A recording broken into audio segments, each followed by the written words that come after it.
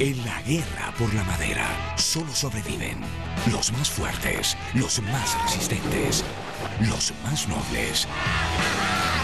¿De qué madera estás hecho? Axman llega a Latinoamérica.